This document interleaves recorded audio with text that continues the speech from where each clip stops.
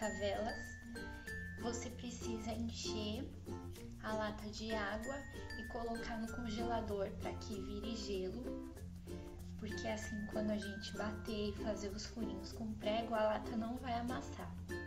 Então vocês vão precisar de uma lata e que ela esteja com água congelada dentro. Um prego pode ser da grossura que vocês acharem melhor, prefiro esse grandão porque eu acho que vai mais rápido. E um martelo, tá? Então vamos lá. Eu vou colocar um pano aqui no chão, porque eu não quero que, que risque o chão. Então vamos lá. Você, se você desejar, você pode fazer um desenho para você poder acompanhar.